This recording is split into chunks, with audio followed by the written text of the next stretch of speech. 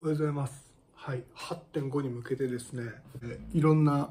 選手がね、ちょっと怪しげなツイートをしてるんですけど、例えば12日さんが結構前にね、スポンサー募集しますみたいなんで、で、まあ、12日さんは誰かのチャンネルでも8.5が出ますよみたいなことを言ってたんですけど、そんな感じでぼちぼち8.5のカードが見えてきた感はあるんですが、びっくりしたんですけど、昨日、団地面あつきさんが、スポンサー募集してたんですよね。で、スポンサー募集したからといって、試合8.5出ますとか、そういうわけでもなくて、例えば、西島恭平さんみたいな選手はですね、あの、普通にプロだから、随時、スポンサー誰かお願いしますみたいな感じでツイートしてたりするんですよね。なんで、スポンサー募集したからといって、あの、点5とか9に出ますってわけではないんですけど、このタイミングで団地面あつきさんがスポンサー募集するって、普通にそれは出るっていうことにはなっちゃうんじゃないかなって僕は思ってびっくりしたんですけど、いやーね、怪我も治ったってことでね、この前 TikTok ライブも夜してたんで、僕も見てたんですけど、8.5は今ちょっとまだあれですね。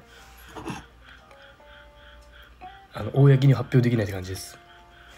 ほんあの本当にも決まってないし俺がまだ出るかも決まってないんで。出るかもしんないし出ないかもしんない。オーディション応募締め切り早いから厚木がブレイクダウン応募して処理選考通過したら嬉しい。あブレイキングダウン応募するよ俺。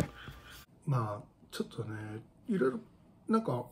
小耳に挟むとやっぱり普通のナンバーチェーンでさえ3ヶ月ごとの開催じゃないですか。点5とかってなるともっと試合間隔が狭まるんでみんなやっぱ怪我がね治んないらしいんですよね。その拳痛めてたりとか、まあ、足も怪我してたりとかっていうので。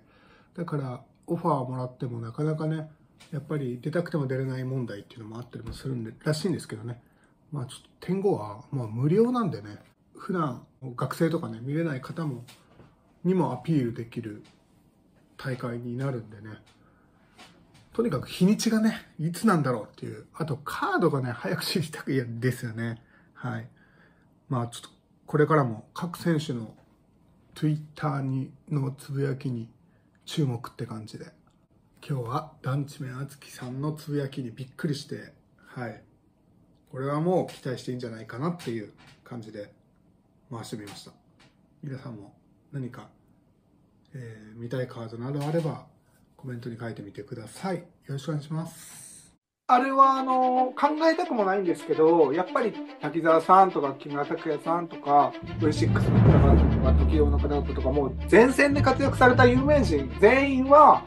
やっぱりそういう性被害に遭ってるっていう風な予想の方が当たってるというか濃厚なんですよ。えっと、ええ